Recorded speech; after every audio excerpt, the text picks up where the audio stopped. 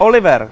Světový rodinný muzikál Lionela Barta podle světoznámého románu Charlesa Dickense Oliver Twist má právě dnes svou premiéru tady v Ostravě v Národním divadle Moravskoslezském. Svou světovou vele úspěšnou premiéru měl v Londýně v roce 1960. V Česku je uváděn teprve po druhé v režii Lumíra Olšovského, v hudebním nastudování Marka Prášila a s českým textem Jiřího Joska s drobnými úpravami Michaela Prostějovského. Vlastníci autorských práv na světově úspěšné muzikály mají tu tendenci vždycky nové a nové nastudování doupravit, předělat a vylepšit. A bohužel Jiří Josek mezi tím zemřel, takže na mě padla úloha to upravit duchu původního autora tak, aby to odpovídalo té nové verzi. Takže jsem to trošičku musel vtělit do stylu psaní eh, Jiřího Joska, my jsme byli, to, čemu já říkám, uhlavní kolegové, to znamená, oba dva jsme psali hodně českých verzí muzikálů, ale každý jinak, každý jsme měli trošku jiný background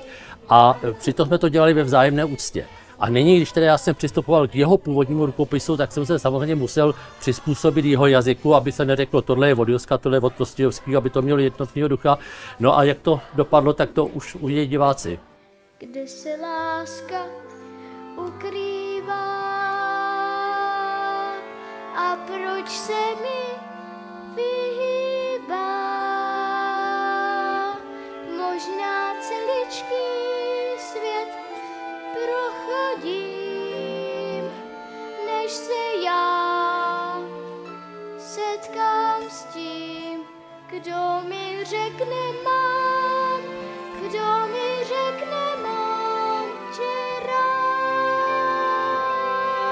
Muzikál Oliver je pod licenci Camerona McIntoshe, což je vlastně náš první muzikál pod touto licencí tady v Ostravě. Je to licence stejná, jako se uděluje na Fantoma opery nebo na Bídníky, takže všechno podléhá těžkým schvalovacím procesům, všechno musíte poslat, Eh, na to vám přijdou různé odpovědi s různými připomínkami, vy je musíte obratem plnit, takže byla to makačka, nebylo to vůbec zadarmo, ale je to tady, takže asi jsme to neudělali tak úplně špatně. Tím rodinu svou Muzikál Oliver je specifický v tom, že nabízí velké herecké příležitosti dětským hercům. Těch je v ostravském obsazení celkem 42, samozřejmě ve dvou alternacích. Vzešly z velmi náročných konkurzů a proto si můžete být jistí, že uvidíte na jevišti ty nejlepší z nejlepších.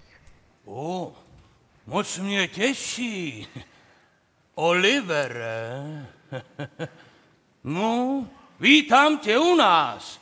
Všichni tě vítáme, že jo, chlapci? No jasně! Pan Twist je sirotek a přijel do Londýna hledat štěstí. Sirotek. Tak ty jsi přišel hledat štěstí. To je otázka. Co bylo nejtěžší na tomhle zkoušení, když vidíte, že tady pobíhá 20 dětí a oni, jak jsou alternovaní, tak na zkouškách pobíhalo 40 dětí. Eh, Já jsem se strašně snažil zapamatovat všechny jejich jména, ale když jsem opravdu na jedné zkoušce křičel Stando, Stando, poslouchej, Stando. A Standa stál na druhé straně a tam to byl Tobiáš, nebo Tadeáš, nebo Matyáš, nebo já nevím, kdo, oni se jmenují ty děti tak jako fantazijně. Eh, Tak to bylo specifický jako na tomhle zkoušení, jinak to bylo zkoušení jako každý jiný, plný eh, nadějí a, a zmatků. Musím říct, že třeba dneska v den premiéry jsem si fakt uvědomila, jako, že mi budou chybět. Že jako samozřejmě, že se budu potkávat, ale fakt jsem teď viděla denně a jsou boží, no, jsou to děti, takže jsou šikovní hrozně se na ně těším už. pravda, že když jsou takový ty scény, které jako jsou trošku surovější, tak uh, často toho mám takový blbý pocit, že bych jako měl být hodnější strejda, než ten, který tam šíří zlo. Nebudu prozradovat, co přesně dělá. Od té chvíle jenom koktá a už se vzliká. Byl sás. Jako podle mě to zábavné, ale bylo to dřina se to naučit.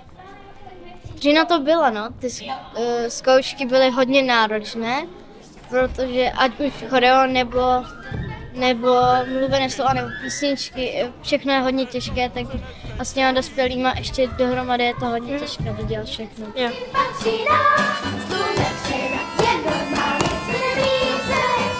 Hudba je to především barevná. Máme tady v orchestru spoustu, řekl bych, pro muzikál netypických nástrojů, jako je třeba eufonium, typické hlavně pro, pro, pro takové britské pochody barvou. Máme tady třeba akordeon, banjo a další nástroje. A rozhodně je to hudba, která je melodická. Jsou tam prostě krásné, eh, krásné melodie, jak teda u těch hudebních čísel pěveckých, to znamená, až bych si dovolil říci písničky, které si budou, věřím, všichni zpívat i při odchodu divadla, zůstanou jim v paměti v následujících dnech, ale taky třeba ve velkých orchestrálních eh, mezihrách. Jsou to prostě krásné, krásné melodie.